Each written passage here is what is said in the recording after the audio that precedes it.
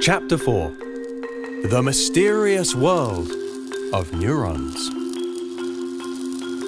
Mojo arrived at school one day to find a happy surprise.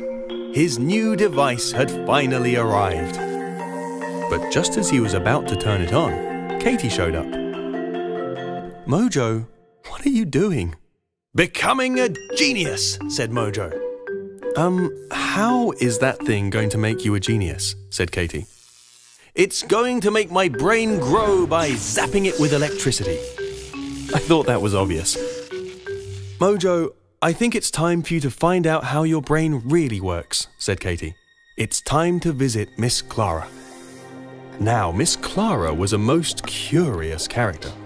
Not long ago, she was a world renowned neuroscientist, but her discoveries had inspired her to try a new challenge.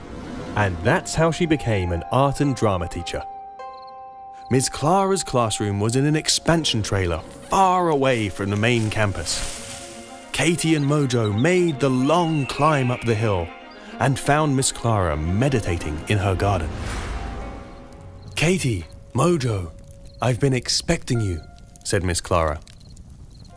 Um, Katie says you know how our brains work, said Mojo.